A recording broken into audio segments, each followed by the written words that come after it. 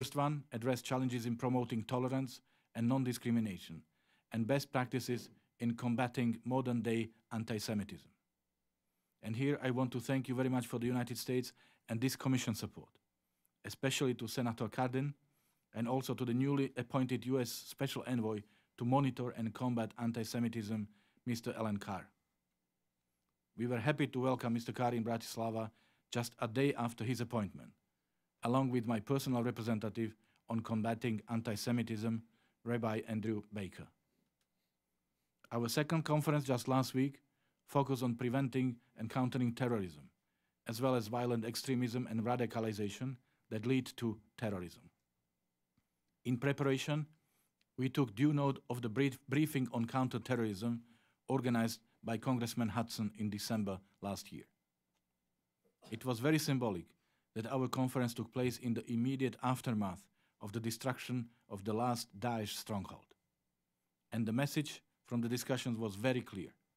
This is not a time to get comfortable. Terrorism and violent extremism pose as grave a threat as ever, and it continues to evolve. We need to address the root causes and stay one step ahead. That's why we at the OSCE need to continue updating and adapting our toolbox so the future does not catch us unprepared. The role of the Helsinki Commission in bringing new developments and trends to light is invaluable. You keep us alert to emerging challenges, from human trafficking and shrinking space for critical voices from civil society to protection of national minorities. And here, I would underline our commitment to all mandated Human Dimensions events, namely Human Dimension Implementation Meeting and Human Dimension Seminar in Warsaw, and three supplementary Human Dimension meetings in Vienna. The first one just took place day before yesterday and yesterday. Slovakia places high importance on advancing the protection of the safety of journalists, especially after last year's horrendous murder of investigative journalist Jan Kuciak and his fiancée Martina Kushnirova, which left Slovakia in an absolute shock. Support for the protection of journalists has been expressed through last year's Ministerial Council decision, one of two adopted in the human dimension after several years. And we are working closely with all three independent institutions of the organizations, namely Office for Democratic Institutions and Human Rights, High Commissioner on National Minorities, and Representative on Freedom of the Media. But to advance these themes, to advance our security and cooperation, we must band together. And it appears the world has started to forget the value of multilateralism. This fundamental problem solving and war preventing tool in international relations, the raison d'etre of the OSCE. So, our third priority is to promote effective multilateralism, both within and outside the OSCE. Within, because the comparative advantage brought by a representation so broad that it brings parties with entirely contradicting interests to the same room every week is immense. And outside, by promoting the OSCE's strategic partnerships with other international bodies. Just last month, I was in New York to brief the United Nations Security Council and engage on strengthening ties between the OSCE and the United Nations. I've done the same at the European Union Foreign Affairs Council, at NATO's North Atlantic Council, and Council of Europe's Committee of Ministers Deputies. And promoting partnerships also means connecting with non-governmental actors, think tanks, women's groups, youth networks, and other civil society partners. Because while these organizations differ in mandate, membership, or functions, these differences do not play to our disadvantage. To the contrary, there is a wide space for complementarity of actions to bring not only enhanced coherence and effectiveness, but also better use of resources. We must remember one thing.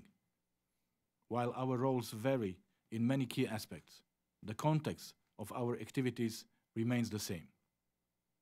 We are here to work for a safer and more democratic region where every person enjoys security and individual rights. In this globalized and interconnected age, working together on multilateral platforms is not a luxury we can afford to opt out of. It is inevitable if we want to safeguard peace and prosperity for our people. And the OSCE is the platform to do just that. Mr. Chairman, members of the Commission, I truly welcome this opportunity to engage with you today.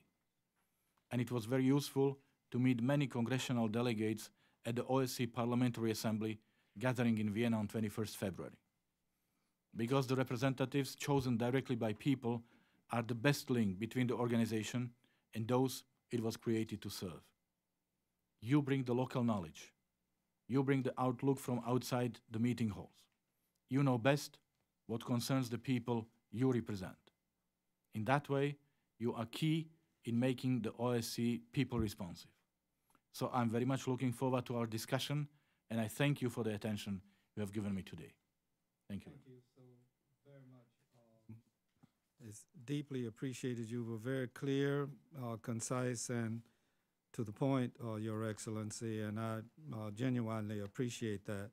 We've been joined uh, by uh, one of my colleagues, uh, Commissioner Brian um, Fitzpatrick, who spent a considerable portion of his career um, before coming to Congress in Ukraine. So he and I both have our Ukrainian experiences. Uh, I don't know whether you uh, uh, were made aware, but I was the lead election observer after the Orange Revolution I know. uh, in Ukraine. And the follow on to that was in Armenia when I was the lead observer. I wore an orange tie, and the New York Times reported that I was bringing the Orange Revolution to Armenia. I mean, it, little things can, you have to pay attention to, to what it is you do. Uh, I didn't take the advantage at the beginning because I knew others would uh, come, but I'd also like to take uh, one moment uh, uh, to recognize Slovakia's ambassador uh, to the United States, His Excellency um, Ivan Korčok. Um, wave your hand so we'll know who you are.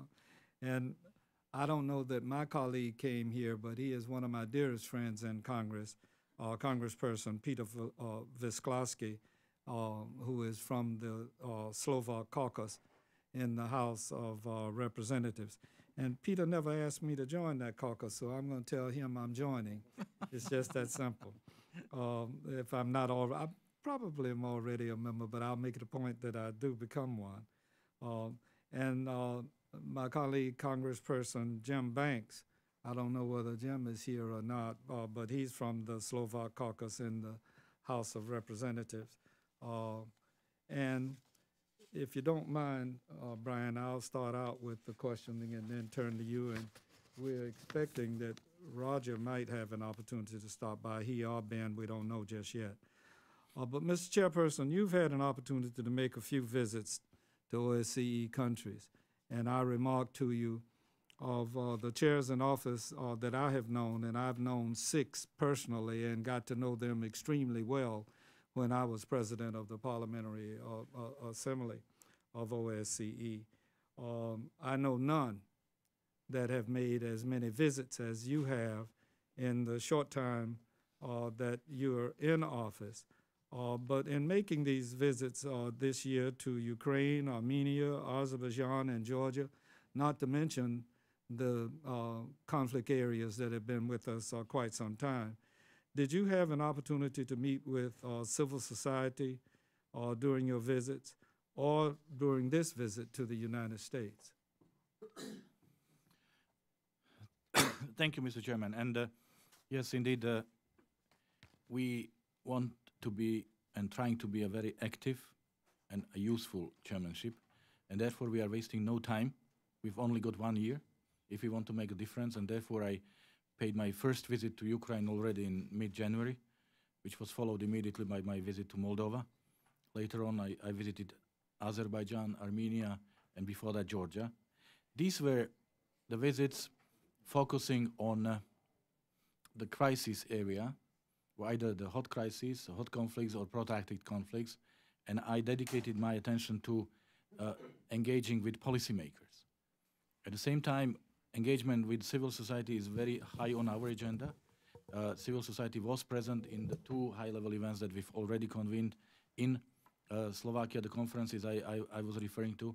I'm going to visit Kazakhstan and Kyrgyzstan next week, and, and the meetings with the civil society are part of my schedule, as it, they will be part of my schedule uh, in visiting other uh, three countries of the Central Asia and all the Western Balkans uh, regions. And I'm also uh, planning to organize uh, a special meeting in Vienna with the civil societies from the uh, the crisis regions to to hear their views. So uh, we we interact, we engage, and we will do that.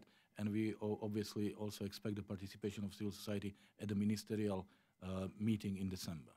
That's very much uh, uh, uh, uh, appreciated. Um, we know we're having difficulties in um, uh, certain locales, and I've experienced it as you have. Um, I've also experienced the critical, uh, positive nature that the NGOs bring um, uh, to developing societies uh, within our uh, OSCE mandate and our mission uh, as we go forward. I said to you earlier that when I joined this organization, um, we, in my very first meeting, had a whole afternoon session on migration. And this was in the 90s. And so, how OSCE countries address migration is becoming key to the preservation of democracy, peace, and unity in much of the OSCE region. With well deserved and well designed and fairly implemented migration and integration policies also having a positive effect on combating intolerance. Will efforts such as the OSCE High Commissioner on National Minorities work on so called new minorities and advancing best practices, such as those reflected in Ljubljana guidelines on in- integration of diverse societies, be continued and revisited for possible implementation? And what other plans are, are there within ODIHR to address areas that impact human rights in the social and economic integration of migrants, uh, such as protecting against employment discrimination and ensuring equal access to quality education and housing, in addition to combating uh, hate crimes. And I regret uh, uh, to say this that uh, I, I, I highlight the fact that the first meeting that I attended discussed migration, but every meeting thereafter that I attended, well on into um, uh, 2008, as I remember, uh, had equivalent discussions with reference to uh, migration. So I leave you with the question, Mr. Minister. Well, you are asking the right question, Mr. Chairman. Migration is obviously a question uh, or an issue that is very high on the agenda, not only for the OSCE, but uh, for other international organizations and uh, also for national governments. Last year was uh, a very important year uh, related to migration also in my career because uh, in July I was applauding as the President of the United Nations General Assembly and I had, had tears in, in my eyes when General Assembly agreed on the text of the Global Compact for safe, orderly, and regular migration, the first ever mul- multilateral document trying to address the issue of migration from the global perspective and trying to manage. And then uh, in uh, November, I submitted my resignation as the foreign minister of Slovakia when my country, my own country, pulled out of uh, signing this document. Uh, so uh, migration is, is very close to my heart. Uh, when I speak about about uh, mul- effective multilateralism, it's it's also about uh, better complementarity and synergy with with other international organizations. So uh, right now, we believe that the lead in addressing the issues of migration belongs to the United Nations. Uh, after the meeting in Marrakesh, after the adoption of the Global Compact, there are meetings discussing the implementation of this document, and uh, at the same time, for European nations, European Union is another platform where migration is discussed very thoroughly and, and in great detail. So migration is present in discussions uh, uh, within the OSCE because simply it's present in our da- daily lives, but it's not formally uh, among the priorities for our chairmanship because we simply don't want to interfere with, with the work of other uh, international, bodies and partners. But yeah. uh, obviously, uh, as I said, uh, wherever you go, whoever you talk to, this issue is part of uh, of the of the debate because it's part of our da- daily life. And I'm very sorry uh, to to say that uh, we are still struggling. We are still reacting. We are uh, still uh, somehow going through painful process to find the right answers to this global phenomenon. Right. But I think you're on to where we will resolve it, if at all, and that is with multilateralism. It isn't going to come about. I mean, each country can uh, uh, do its own thing, as it were, and will. Uh, but we are better when we work together in that, in that regard. We've also been joined by the new ranking member of um, uh, our Helsinki Commission, and that is uh, Congressman uh, Joe Wilson uh, from uh, South Carolina. And Joe, I'm going to ask one more question now, and then ask Brian, and then come back to you if you don't mind. Excellent. Okay, real good. Um, close to my concern, in light of the fact that I'm one of the prime movers, uh, sound like a bragging society up here sometimes, but I'm proud of the work that I've done in the OSCE over the years. Uh, but I was one of the prime movers in creating the Mediterranean partners. And just so is how when you're meeting with NATO, you can get them to understand something. We did the Mediterranean partners in the Parliamentary Assembly before they got involved in NATO, so they kind of got the idea from us, I like to think, although they were on their way as well. Um, at the last Ministerial Council in Milan, the participating states passed a declaration on security and cooperation in the Mediterranean. The declaration called for Mediterranean related issues to be clearly reflected throughout the relevant work of the OSCE across the three dimensions of comprehensive security, among other things. How do you plan to use your chairmanship to advance the goals of this declaration? Are there other initiatives regarding the Mediterranean partners and the region in general that you wish to pursue?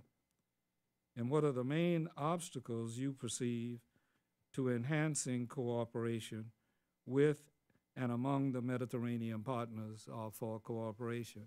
And Mr. Minister, um, when I was extremely uh, active, uh, I spent a considerable amount of time in this arena. As a matter of fact, I think I'm the only uh, chair of uh, the Parliamentary Assembly that visited all six of the uh, Mediterranean partners on more than one occasion.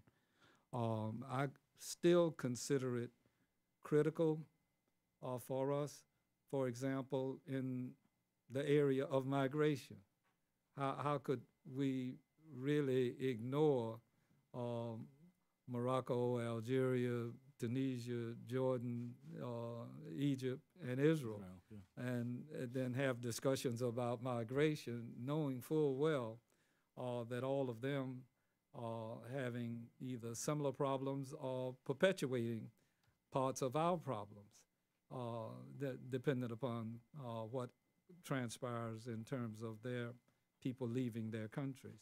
So toward that end, I leave you with the question, and then Brian, if you would. Mhm. Thank you very much, uh, Mr. Chairman. And as you know very well, the Troika model in um, the OSCE works quite efficiently, and uh, there is also a division of labor within the Troika. So last year, when Slovakia was still incoming chairmanship, we were already responsible for Mediterranean partnership. So we organized the meeting in Malaga, and I was presiding over that meeting in uh, end October. The meeting was dedicated to particular issue of energy and energy cooperation, energy security. Yes, sir. But you are very much uh, right, Mr. Chairman, saying that, I mean, all three dimensions of the OSCE work are very relevant. And when we speak about migration, of course, the Mediterranean partners are, are extremely important. So uh, we ha- I'm, I'm very glad that we have this platform. Uh, you ask wh- what I s- where I see the challenges. Well, I was uh, a bit disappointed that we did not have a political representation from our six Mediterranean partners. Mm-hmm. And obviously, we, and I, I used to be a, a bureaucrat myself, but d- do you have a different level of discussion among politicians and among experts? And uh, this is a platform that OSCE is offering to partners, and I asked what what's wrong, why why the partners do not show up at, at the level that the, the OSCE uh, uh, participating states are showing up. So this is what we need to to explore, and we are working on it. Malta is proposing creating a position of the special representative for Mediterranean partnership. If uh, it will bring an added value, what we want is to use the platforms for a meaningful dialogue. We are all busy people. We have so many responsibilities. So to go to meetings with little uh, value added is, is just a waste of time. But I really believe in, in an importance of this of this uh, dimension, the Mediterranean dimension of, of the OSCE work. So I really hope that we will be able to use, use the potential of this platform. you um, uh, to do as I'm going to do, and that's to ask um, George if he would uh, use his good offices um, as uh, uh, parliamentary uh, uh, assembly uh, chair.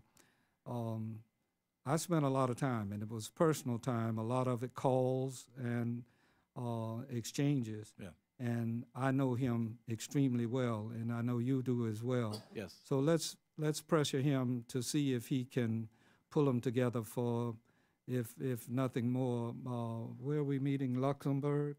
Luxembourg. Um, uh, in Luxembourg and see if we can get as many of them as possible, uh, there. All right? Thank you, Brian? Will do. Thank you, Mr. Chairman. Um, Pleasure to be with you on the uh, commission here. Sir, congratulations.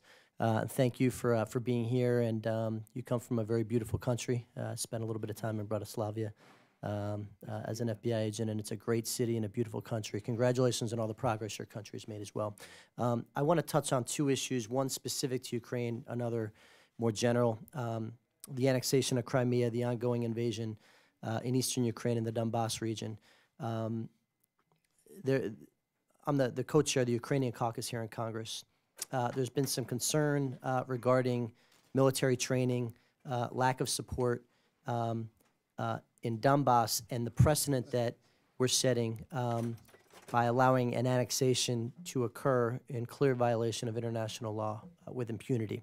Uh, what role do you think this commission should play and uh, yourself? And second, on the broader broader issue of corruption, um, the majority of my time I spent in Ukraine was um, standing up the, uh, they call it the NABU, the National Anti-Corruption Bureau. Uh, it was um, designed to fight uh, high-level corruption um, at higher levels of the government, um, which is clearly a problem in Ukraine and many, reg- uh, many parts of that region uh, and parts of the world as well. Um, and so many of the challenges when we look at uh, economic instability, political instability, human rights violations, they're symptomatic of what we consider the root cause issues, one of which is corruption. It's a huge problem uh, in many regions of the world. Um, what would you like to see our commission do in partnership with you uh, to help that? Because I'm something I'm very, very passionate about. Ukraine is, uh, of course, the top of our list of priorities as the chairmanship of the OSCE uh, for obvious reasons, because uh, we have a hot conflict. People are suffering, people are dying on daily basis, and we, we need to do something about it. At the same time, Ukraine is our neighbor for Slovakia, so we have been very active in assisting Ukraine uh, ever since, since the, the beginning. And uh, let me remind you that by uh, building the gas interconnection, Slovakia allowed for a reverse flow of, of gas from Europe to Ukraine and thus guaranteeing the, the energy independence, uh, energy security for Ukraine. And this has really changed the picture because Ukraine could no longer be blackmailed uh, through, through the gas negotiations.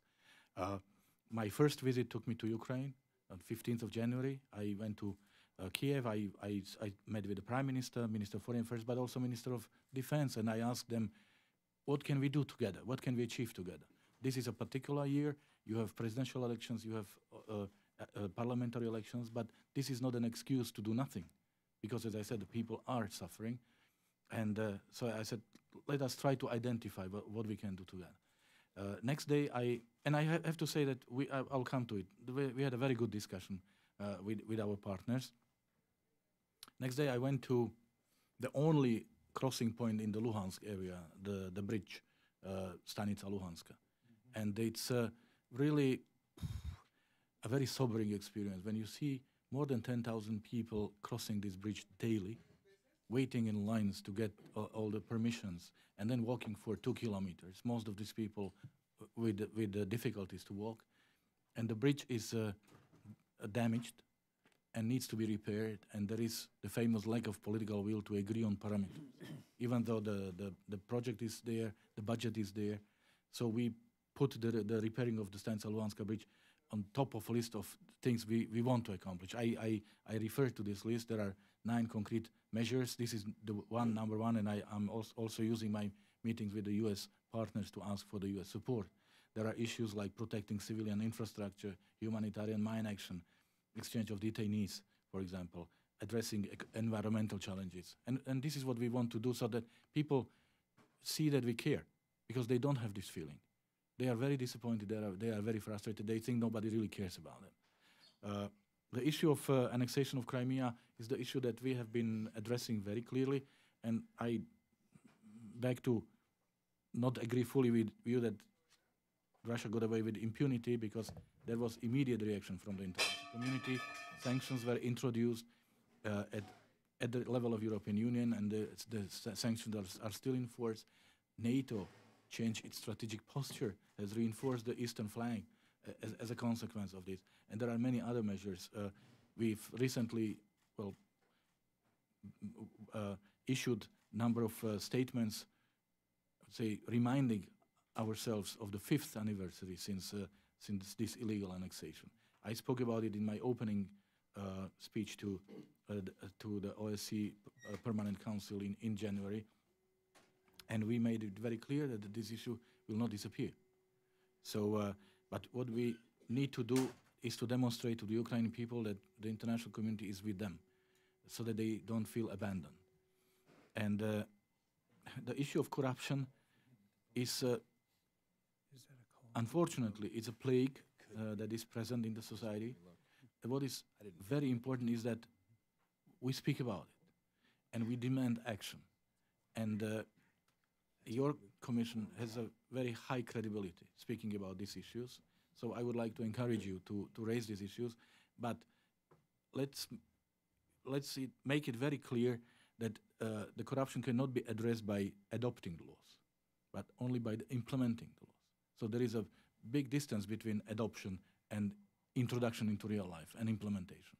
So let's judge our partners and friends not by the number of laws they have adopted, but by the effectiveness with which they are implementing these laws and, and with the impact these laws are having on the functioning of the society. And this will help them and this will help all of us in the Thank you. Before going to you, Joe, I'd like to introduce uh, Senator uh, uh, Cory Gardner, who has uh, joined us, and then Joe, and then Cory. Uh, um, I asked, was that a vote that you were called? It's a quorum call. A quorum call, so you all have an hour to get the quorum call. Yeah, that's right. Go ahead, Joe.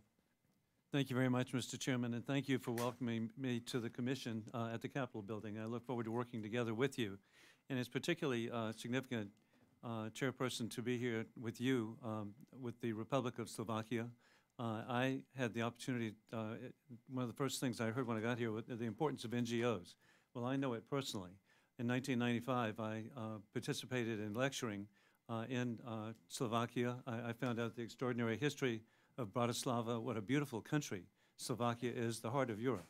And I um, then had the opportunity to work with the uh, ambassador Peter Burian uh, very closely, and uh, he came to my home state to observe a presidential primary.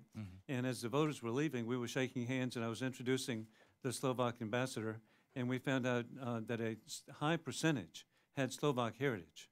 So uh, we have a, a shared heritage that we greatly appreciate, and I, I wish you well on your service. Thank you very much, sir. And uh, over the years, you've been very active in Balkan affairs, including as a high representative in Bosnia and as a moderator or mediator during the Montenegrin independence referendum. Now that you chair the OSCE, what challenges do you see still in the region, and what role can the OSCE play in meeting the challenges? We're glad to see the progress in relations between Greece and North Macedonia, but do you have any optimism concerning developments in Bosnia or in relations between Serbia and Kosovo? Thank you, thank you, sir. And you might know that Peter Burian is now the European Union Special Representative for Central Asia, Here, here. and he's doing a great job there. Good. Yes, uh, and we are very proud of him. Best wishes to him. I'll see him very soon. Yes. Uh, Western Balkans is a region that has made a significant progress since the end of the tragic Yugoslav war, and we do not face, uh, I would say, security challenges, challenges to peace, but there are many other challenges. Uh, the process of transformation of the of, of their societies, and I would say Europeanization of their societies, is uneven. And of course, we have success stories. Uh, countries like like uh, Croatia, that is already a member uh, of the European Union and NATO, or, or we have Albania and, and Montenegro, who are members of NATO. And then we have uh, Bosnia Herzegovina that is struggling. Of course, Kosovo is struggling with its uh, identity. So we need to keep our eye and pay our attention to the region. We need to stay engaged. Uh, I'm absolutely convinced that the best future for the region is European future. That means the mem- mem- future membership in the European Union. And they have this promise. What is really important is that this goal is seen as uh, credible, realistic, and tangible. Uh, that there is no feeling of European Union moving the goalpost. Because if we want European reforms, and they are very painful, they need to see the, the end game, which is the membership. And the European Union, I'm personally a very strong believer uh, in the European project, and I've dedicated my professional life to bring my country into the European Union. The fact is that since uh, uh, several years, European Union has been busy with internal issues, uh, migration crisis before the financial crisis, now the Brexit crisis, and we sort of lost focus from the region of the Western Balkans, and and and this resulted, I would say, in the less enthusiastic approach to reforms. So what I experienced myself is that the region is moving in the right direction every time when the European Union and the US are working hand in hand, realizing and understanding that it should be the European Union who is the face, because it's the European Union that is offering the, the perspective. So we need to keep the European perspective alive and, as I said, credible and tangible. What I see as uh, there are no unsolvable problems. The name issue for North Macedonia seemed un- unsolvable for 20 plus years, and yet it was done. And it took two leaders with vision, with courage, and, and, and they delivered. So, what I see as the most pertinent issues right now is the lack of progress in the dialogue between Belgrade and Pristina, and I really believe that we should focus more on it and, and demand both partners to solve their uh, open issues through this dialogue, and then the functionality, or rather the lack of functionality of Bosnia and Herzegovina. The good thing is, as I said, is that these are not the problems that could result in conflicts. No, I mean, the, the region is past that stage. But people are losing faith, they are losing confidence in the future uh, of their countries. Young generation is leaving the, these countries in huge numbers, and this is very bad. So therefore, we need to bring this, uh, this, this trust uh, back into these countries. We need to engage more with them. Thank you very much. And uh, the OSCE plays an important role in negotiations to end conflicts, including the 2008 invasion of Georgia by Russian forces. Uh, What, what is the status of OSCE actions in Georgia? Uh, And again, a um, newly democratic country, a very dynamic country. Uh, I've had the opportunity to visit at Gori, and you could actually see uh, the fences that the Russian Federation had placed um, uh, as part of their occupation. And what is your role uh, to try to mediate? I visited Georgia uh, as part of my introductory visits, and uh, of course, I've been uh, in Georgia many times before, but this was first time in my capacity. I also went to, to visit the line of contact as, uh, uh, to the, the South Ossetia, uh, and you see how much this really divides, I mean, villages and how much it interferes with people's lives. And at that time, the, the crossing points were closed, so I used my coming visit to Moscow to urge the Russian side to use their influence to have these uh, uh, points reopened. The good thing is that the, the Georgian situation could be defined as protracted conflict or frozen conflict because people are not dying, not on daily basis. So uh, at the same time, it's been more than 10 years, and uh, we would wish to see, uh, of course, a greater progress. We have two mechanisms Geneva in, in, in, inf- International uh, Dialogue, and the IPRM, which is uh, the Incidents Prevention and re- re- Resolving mecha- Mechanisms. So we need to invest into these two mechan- uh, into the, these two mechanisms to keep them alive and to address the issues through through these formats. So this is very important, and we need to be patient. I obviously met the, uh, my interlocutors, partners in uh, the Georgian, Georgian government, and I appreciated the constructive approach uh, that the government has taken, adopting a strategic document, the steps into the future, which is trying to engage with citizens uh, and being very generous with citizens of these two occupied territories, uh, allowing for medical services and, and other services. And I think it's really very important that you keep the dialogue and, and, and keep the, uh, the contact uh, at, the, at the people's level while making sure that we are trying to, to, to address the, the political issues at the political level. Very important. Thank you so much. And my final question, in many ways, the OSCE has been a pioneer in cybersecurity issues. In 2013, participating states agreed to the first ever set of cybersecurity confidence building measures. How does the chairmanship view the continued contributions of these confidence building measures in a climate in which the state directed cyber attacks appear to be increasing in frequency and severity? Cybersecurity is an issue that is uh, influencing our daily lives, and uh, we are paying attention to the cybersecurity within the OSCE as well. And I uh, referred to a number of high-level conferences in my introductory remarks. We have already organized two, and the one in June will be dedicated to this issue of cybersecurity. And I uh, am already trying to in, present this conference as a as a very special event because if the security in the 20, 20th century was about protecting borders, about hard security, security in the 21st century is very much defined by the cyberspace. And we need to understand this new narrative of security. And we want to use this conference in June in Bratislava to offer this new uh, perspective on security. Because if we want to be able to counter the, the challenges that are coming from the cyberspace, we need to be able to define and to understand them. So I really hope, and I've already invited uh, also the participants from the United States to come and share the experience and knowledge about the cyberspace and cybersecurity. Thank you very much, and I look forward to working with the chairman in the future. All right, Senator, before you begin, let me introduce um, Commissioner Gwendolyn Moore, uh, who has uh, just joined us. Uh, She's from Wisconsin. All Please. right, Senator? Chairman. Uh, Thank you for your uh, time here today before the commission. Uh, This morning, uh, Secretary General uh, Stoltenberg talked about uh, the conflict in Ukraine and illegal annexation, invasion by Russia being the first action forcefully taking of a country since World War II.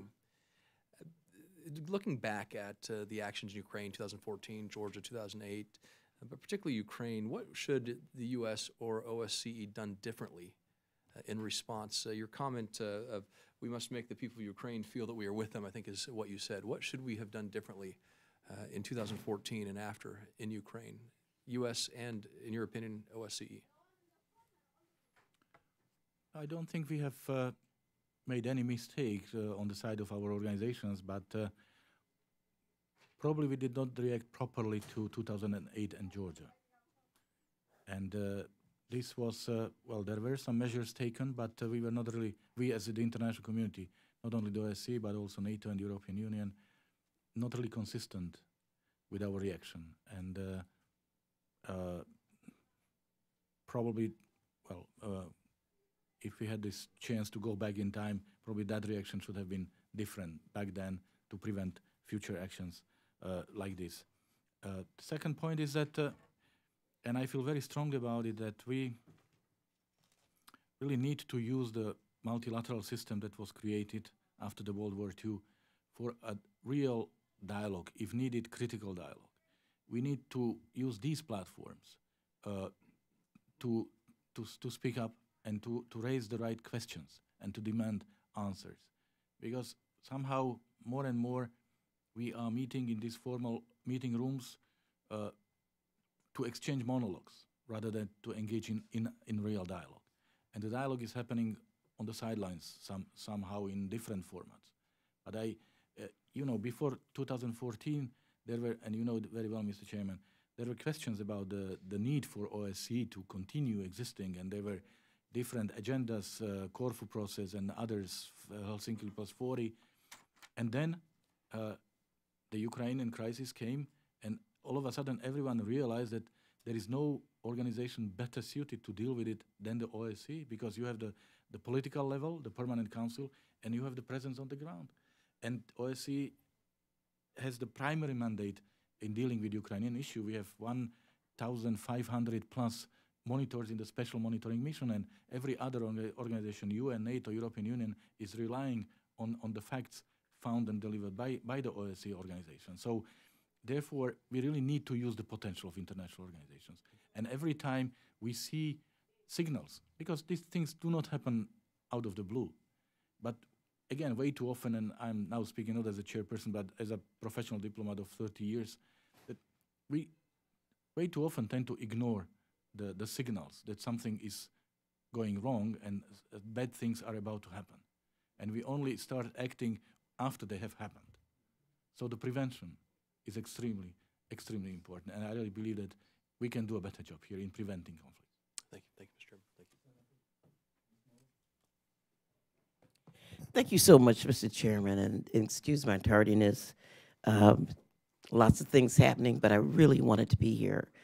Um, So, Mr. Chairman and, and members of the Helsinki Commission and, and uh, His Excellency, uh, Mr. Chairperson of the OSCE, it's nice to see you again. I met you briefly uh, in Germany, and I'm happy to be here today. And I tell you that um, you you leaned into one of my concerns that this is probably a really really critical time in the OSCE organization and your chairmanship uh, at this time. Uh, and uh, I'm thinking uh, because one of one, one of our partners, the Fed, the Russian Federation, certainly has violated all of the Helsinki uh, principles um, as we uh, have so carefully constructed them. And these violations um, are things that we need to address, and and I am concerned about the reputational risk to the OSCE unless we have a plan of action to deal with the Russian Federation. Also, like uh, unless you've already done it, to sort of describe what your impressions were when you visited Ukraine in January. Uh, I thought that that was a great act of political courage on your part to really lean into the, one of the primary sorts of um, issues that we have, and just want to get your feedback as to what you think uh, the OSCE can do more um, to uh, resolve the violations of the Russian Federation, and what you think the internal um, status is of uh, of the Ukraines, Ukrainians. Thank you. Thank you, Madam Commissioner. And uh, obviously, as the chairperson in office of the OSCE, I'm not in a position to uh, judge the participate, participating states since I'm speaking on behalf of the organization. But what I want to say is that uh, unique in many aspects, and one of the aspects is that one of that OSCE is one of the few international bodies where United States and Russian Federation are sitting in the same room at the same table. There is no, uh, there are not that many oth- others, probably only the, the United Nations, uh, which of course has 193 members. So uh, therefore, we, we have to use th- this fact to, to, to look eye to eye and to, to talk about issues and to use, use this potential as, and, and this unique platform. This is what makes the, o- the OSCE unique. And uh, therefore, as I just spoke about, I, I really believe that uh, there is a lot of potential of the OSCE uh, that has not been used yet. And I am a strong believer in a dialogue. And I, I am absolutely certain that the critical dialogue is better than no dialogue at all. And uh, talking to each other is better than talking about each other. And OSCE, please feel free. uh, so, and OSCE gives us this platform. So we will have to use it uh, to address th- these issues because it covers this huge territory from Vancouver to Vladivostok. There is so much uh, things we can do, uh, and, and and we have to. It's way too often the, the work of the organization and OSCE is, is not the only one, is blocked because of uh, but some issues not really related to the core business of the of the organizations. Uh, we still don't have the agreed budget for the, for for this year uh, because of unrelated issue. But it's already uh, April, and this is really limiting our activity. So this is one of the uh, examples how we need to use the potential of the organization. The second part of your question about Ukraine, uh, for us, uh, the, the focus on people is is very much uh, our priority, and uh, we uh, want to show that th- there is a political level of processes. There are different mechanisms, but there are people, and these people need to see that there is someone who cares about them. And being a politician myself, I know what lack of political will means. That means you don't want to agree, you don't want to reach a deal. But when I was standing uh, on uh, on that bridge, which is, as I said, the only crossing point in the Luhansk area, people have to travel more than 100 kilometers to get there, to wait in line, to cross these two two kilometers. Try to tell them that there is no political will. Uh, I, and and I, I wonder what the reaction would be. And these people are so they they are beyond frustration. They are not even frustrated. They they like have given up. They don't trust anyone. So therefore, we are trying to identify the issues, how to help them. In, if we widen the demine zone around uh, schools, uh, uh, the kindergartens, hospitals, nobody is losing, everybody is winning, for example. If we try to introduce uh, the bus line so that the people will be able to travel also by bus or by train and not necessarily on foot, no one is, is, is losing, everybody is, is winning. So this is what we are trying to do, not losing uh, focus from the big picture, but understanding that there are real people and real, real uh, destinies and real lives be, beyond that. And if we will be able to help to, to ease the suffering of some of these people during our year, I will be very happy. His Excellency, I just wanted to commend you on your uh, focus on youth. I think uh, just when you talked about prevention, um, that is just the um, quintessential strategy for preventing chaos um, is to to deal with the youth. Is, are there any particular initiatives that you can share with us um, that we ought to amplify uh, through OSCE? Uh, I'm thinking uh, when we go back uh, for our July meeting, we might be prepared to to come up with some resolutions that address uh, some of your priorities in that area. We want to make sure that youth is part of everything we do because uh, uh, we don't want to like organize one event dedicated to youth and then continue the business as usual. So we are uh, reaching out to young people and, and we want to hear their opinion, particularly in the third, the human dimension of, of our activities. So we want to make sure that they feel that OSCE is, is also their organization and they have their say in, in everything the OSCE is doing. Doing. Yield back to you, Mr. Chairman. I, I would like to piggyback on Ms. Moore's comment in that regard and to emphasize the fact that in cybersecurity, young people know a hell of a lot more about uh, uh, we will ever what's know. going on than we do. And if you don't think that's true, ask your eight-year-old, uh, just let he or she mm, pick up your cell phone and see what they do with it Yes, that you don't know know. how to do. I know. Uh, and that's true of all of us in each of the dimensions. So the earlier that we turn to some particular program that allows for youth to have some advantages um, uh, that we as adults don't share at that moment, uh, the better off we'll be, particularly in the area of cybersecurity. And I mean that most sincerely. You don't need to be introduced to a friend.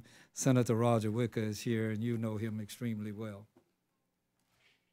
Well, thank you very much, and, uh, and I appreciate my two House colleagues who are usually under the five-minute rule for uh, uh, filibustering long enough to uh, keep this hearing going, so I, I could get down here. I'm sorry I'm late, I'm sorry I've, I've uh, missed a, a good bit of it, but, uh, Mr. Minister, we are thrilled to see you. And um, my goodness, it's great to be back with my friend of longstanding and a colleague, Alcee Hastings, and to see you looking so good, Yeah, I'm holding on. I'm Oh, fighting. ah, I tell you, it's just wonderful. It's wonderful. And um, we've um, worked um, on a bipartisan basis, bicameral basis, um, to make the strong statement that the Helsinki Commission is relevant to so much that's going on these days, that uh, our participation in the OSCE Parliamentary Assembly is um, absolutely pertinent to so many issues. My colleagues and I were um, at a joint meeting of Congress earlier today with the Secretary General of NATO, uh, where there's uh, quite a bit of overlap, and uh, and I think so. I think we're making a statement and continues this afternoon, Mr. Chairman and uh, Ms. Moore, um, in in this hearing today from the chair in office. Um, and we're delighted at Slovakia's chairmanship um, this year, and uh, thrilled to uh, to have our friend uh, Miroslav Lajcak uh, uh, with us. Um, for more than 40 years, the OSCE has worked to bolster security, democracy, and the rule of law, and respect for human rights. Um, uh, certainly, um, I, I don't know if Senator Cardin has been able to, to uh, touch base today, but um, uh, he and I, along with um, other members of the Helsinki Commission, um, introduced um, a resolution in 2017 to recognize the importance of the Helsinki Final Act and the OSCE, as well as their relevance to American national security. And I can tell you, Mr. Chairman, uh, when you ask the generals who have jurisdiction in Europe uh, what they think of OSCE, they say it's a valuable uh, tool, um, not only to have to get the parliaments together, but also um, to provide information sometimes that we're not able to get um, from any other source in Europe. Um, we're a 57-member organization that oper- operates, has to operate uh, by consensus, and certainly we've had our challenges. Unfortunately, as the Secretary General of, of NATO pointed out today, Russia has tried uh, in many ways to abuse its power and, and OSCE to block consensus and, and use the power of the purse to paralyze our mission. Um, we hope that improves. I'd like to see the day when, uh, when um, there, there is not this conflict within our parliamentary assembly with uh, uh, our Russian membership. But Russia has attempted to redefine European borders. Let's just face it, it's a fact. Through force. So countering the Russian Federation's clear, gross, uncorrected violations of all 10 OSCE core principles should be among the highest priorities for any OSCE um, chairmanship. Mr. Chairman, we appreciate the fact that you visited Ukraine in January.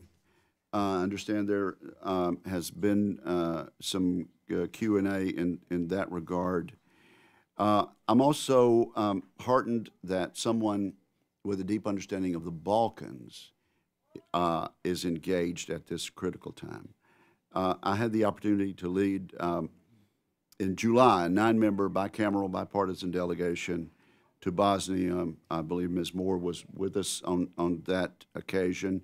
We our trip included uh, trips, of course, to the Federation part, but also to Republika Srpska, and it was an eye opener. I can tell you. Um, I remain deeply concerned about the region as a whole, um, and perhaps we can hear um, you elaborate on your views as how we might strengthen the process of democratic reform, fight against corruption, and uh, and fight against uh, regional instability. We stopped um, a, a bloody conflagration there over a decade, over two decades ago, but um, I'm afraid we're frozen right now, and I'm I'm deeply concerned and heartbroken that the people of the Balkans are not um, well served. Um,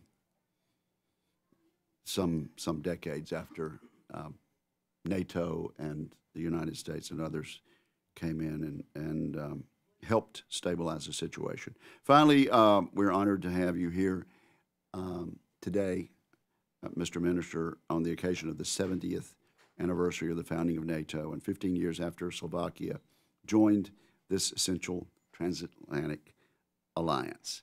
It was great to see Secretary Pompeo visit Slovakia in February, as he said when he stood before Slovakia's Gate of Freedom Memorial, remembering the more than 400 innocents who lost their lives attempting to flee communism. Um, we stand in unity with the people of Slovakia in Europe in recommitting to a future that is more prosperous, secure, and most of all, free. So, um, just to echo the, the uh, kind words of support that I know have already uh, been expressed today, I wish you every success. Thank you much for, uh, for being here. And, uh, and if, if there's anything you'd like to add uh, based on my comments, I would certainly be glad to hear them. I although I don't wish to, to prolong um, the event for those who've been here for quite some time. Actually, I was going to ask the minister if he had a minute more for one or two more questions. Yes, of course, I'm uh, at your disposal. I'm Please respond. not coming here that often, so uh, of course I. Did I say anything that uh, requires uh, uh, Thank- a response or uh, elaboration, Mr. Minister? not an elaboration, but uh, I would like to rela- react to a couple of statements you made. Uh, first, uh, have no doubts about the relevance of this Hel- Hel- Helsinki Commission. I mean, it's a, it's the relevance is huge. It has had a, I mean, a very strong impact on the trans- transition process in my own country. There are many politicians in my country who are scared when they hear about about the Helsinki Commission, and rightly so. Uh, and you have been very strict in insisting on the basic principles of, of Helsinki document and, and respect for the ru- rule of law and human rights and non-discrimination. So uh, my wish for you is to continue doing what you have been doing so, so, so successfully, because uh, you have been instrumental in bringing about the changes in our part of the world. And uh, OSCE, as I said, it's a very unique organization because, and I've seen it again during my years in the Balkans, it's seen as a partner, thanks to the presence on the ground, living side by side with people, sharing their daily concerns, assisting them with practical issues, access to water, electricity, basic services. So people trust the OSCE. And it's really about the organization, about the OSCE, how we can uh, turn this trust and the knowledge from, from the ground into political action. And here, of course, we could wish for a better, better results because somehow we are not always processing the in- informations in the best interest of people we are, uh, we are supposed to serve here. So uh, uh, this, is the, this is the challenge for all of us. And uh, for the Western Balkans, I've already elaborated, and I don't want to, to repeat myself because there was a question before. I am more optimistic. I, I really believe that the, the, the region is irreversibly on a positive trajectory. Uh, the process has slowed down lately because the attention from European capitals and, and from Brussels has uh, been weakened, and this is an interaction of two partners. So, very briefly, what I want to see is uh, European standards. I mean, insisting on the countries bringing, introducing European standards in every aspect of their lives and functioning of their societies. It will not come if they don't believe in European perspective, and this is something the European Union should guarantee for them. And second, to give young people trust in the future, in their future lives in their countries, so they don't have to think about leaving their countries and, and looking for opportunities somewhere else. And, and this is a this is an issue that is is very much present in the region. But it, they are both doable, and uh, and there is also an understanding in in the international organization that this needs to be done. I will visit the region now in my capacity of of the chairperson in office, all the countries because OSCE is present in each and every one of them to try to address uh, the issues on the ground, talking to people, including the young generation and civil society actors.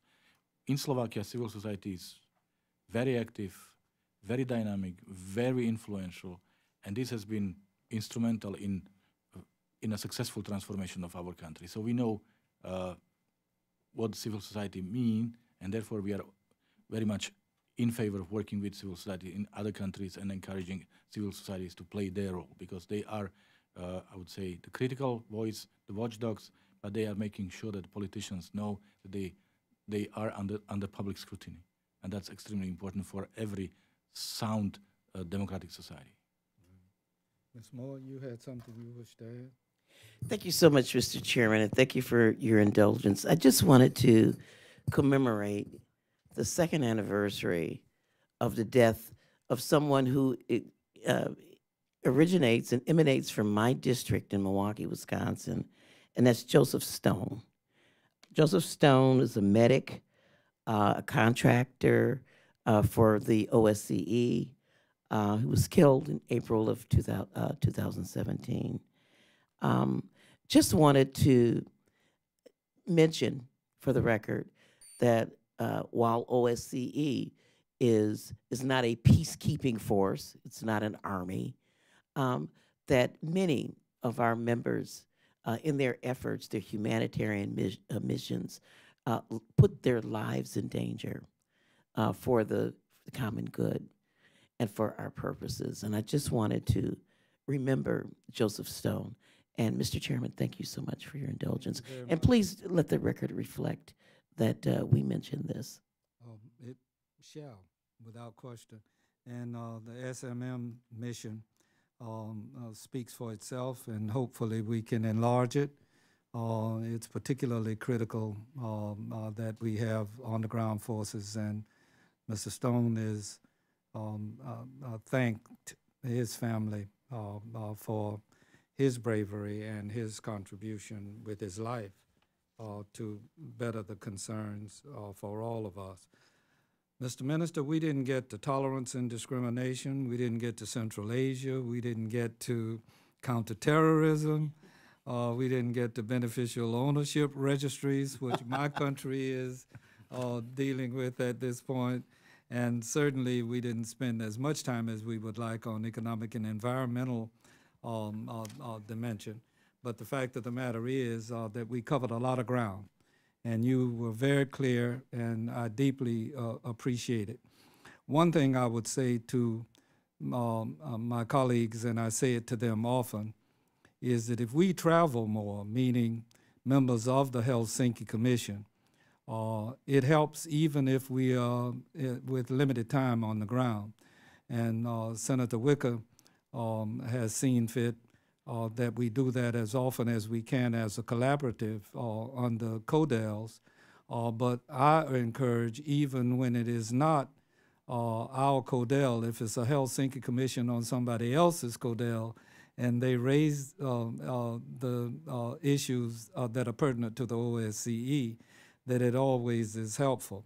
And I'll leave you with this, and how important it is that you visit. Um, Karimov, before his death, uh, I consider myself to have become a friend of his. Mm. And uh, the reason for that is, uh, again, a little more bragging. I'm the only individual that I know in the United States Congress that spent a week in Uzbekistan. Uh, but in addition to having spent a week there, I visited there five different times. So I went there with a group whose name will be not mentioned, and he treated us royally. He really did. And as we were about to leave, one of them asked, You've been so nice to us. Uh, what could we do to help you? He said, You could do like Mr. Hastings, you could come here more. Okay? So I think if more of us in the American Congress were to travel about the world more, rather than what I've seen in the last decade, us tending to listen to our media who tells us that if we travel, we're not doing the business of our colleagues. And I wanted to share with you the plight that we all have of um, young people leaving um, uh, for greener pastures. Uh, Senator Wicker and Ms. Moore and myself uh, and Joe Wilson, uh, not so much Cory Gardner, who was here earlier. I don't think he has the kind of rural areas uh, that uh, Senator Wicker and uh, Ms. Moore and I and, and Wilson have. And believe it or not, we are having that exact same issue in our respective jurisdictions um, and constituencies where they're seeking greener pastures. Somewhere along the line, we have to, through multilateralism, find green enough pastures for all of these children to land in safe spaces. Thank you so very much, Mr. Minister. This hearing is adjourned. Thank you very much.